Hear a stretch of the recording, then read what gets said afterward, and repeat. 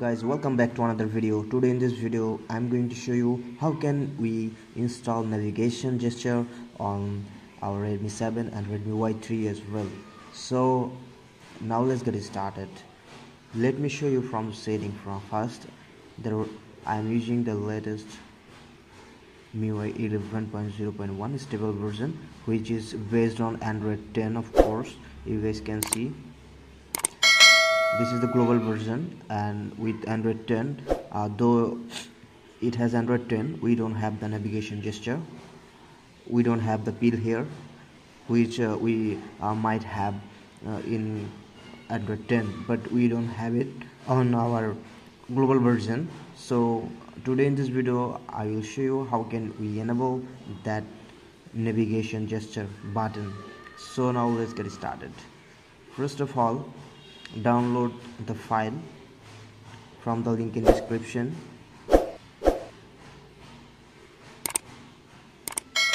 And just install the system alpha launcher.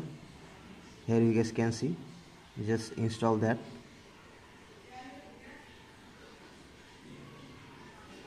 And we also get the new animation on recent menu using that launcher and this is the official launcher of course no issues.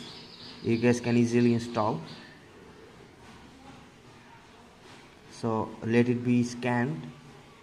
Now it's done. So you guys can see already we have the pill here the button which is android 10 and it's working fine. Let it be uh, completed internally.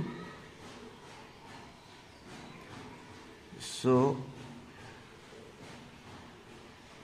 you guys can see the pill is working fine without any issue and we will have a new animation on recent menu. And this is the very latest version on global. So let me show you recent animation. So you guys can see this is the MIUI 12 uh, recent animation. Uh, you guys can enable that using that uh, system launcher and I'll drop the link in the description. So that's the video guys uh, for Redmi 7 user and Redmi Y3 as well. Uh, Redmi Y3 user can install Redmi Y uh, Redmi 7 ROMs on their device so no issues. If we uh, if Redmi Y3 user uh, still don't have the Android 10 version then you guys can flash the Redmi 7 Android 10 version ROM no issues so that's the video guys for today. And if you guys really like that video help uh, find that video helpful then do subscribe and hit the bell icon